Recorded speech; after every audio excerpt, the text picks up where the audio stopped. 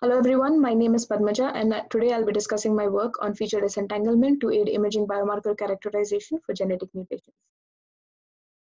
Glioblastoma is the most common form of adult brain tumor and has a high rate of morbidity. Prognostic assessment of glioblastoma requires analysis of multimodal data, of which gene sequence testing is the most trusted. However, MR imaging data is the most commonly available data for any GBM patient. We propose to extract the visual biomarkers that correlate with the prognostic indicators, thereby streamlining digital assessment workflow. Doing so will help save resources such as human effort, cost, and time, as well as make the workflow less invasive and more objective.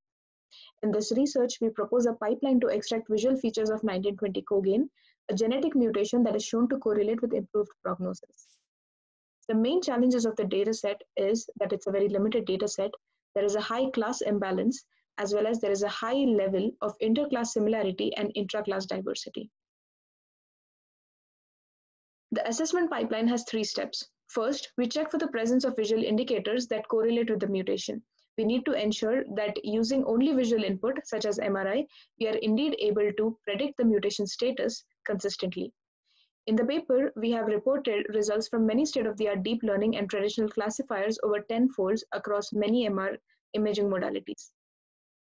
Once we know visual biomarkers, even though they are unapparent, they do exist, we want to characterize them. In this paper, we have characterized the impact of three macro features, location, texture, and shape. Using the insights obtained from these, we use the significant features to try and reproduce synthetic data to assess even if these features once recreated still correlate to the mutation or not.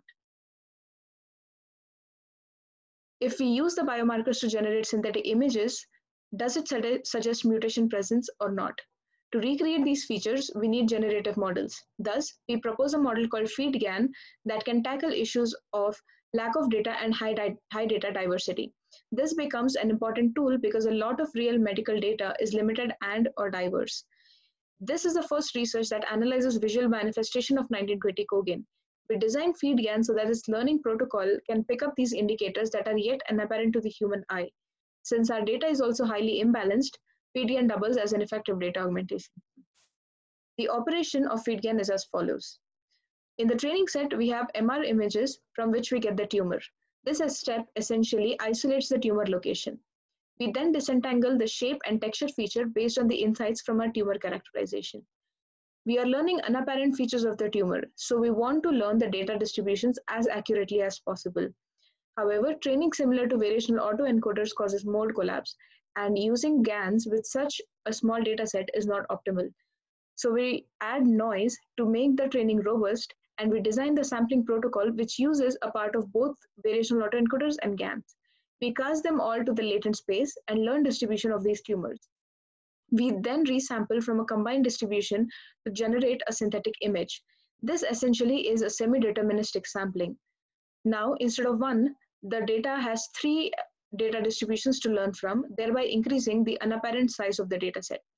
The generator is made robust by training on three distributions of various proportions. We perform disentanglement on the generated image to evaluate shape and texture consistency loss to ensure proper training of the features.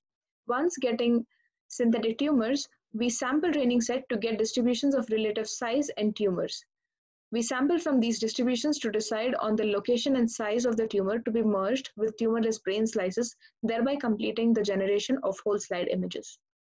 Quantitatively, if we compare the highlighted and non-highlighted regions, we are able to demonstrate the presence and characterization of the tumor. Comparing the highlighted and non-highlighted region, we see that if the data is trained on synthetic data versus real data, the performance is similar. They are tested on the same test set.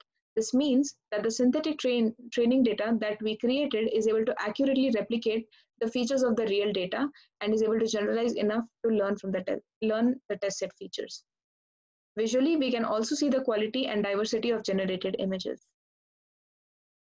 Concluding, we can say that we have identified and characterized the visual markers of 1920 co-gain. We note that features that are features are reproducible using FeaD-GAN. We also note that FeaD-GAN is able to effectively learn from limited and diverse data. We believe such a generative model will be useful for many real-life data sets. Thank you.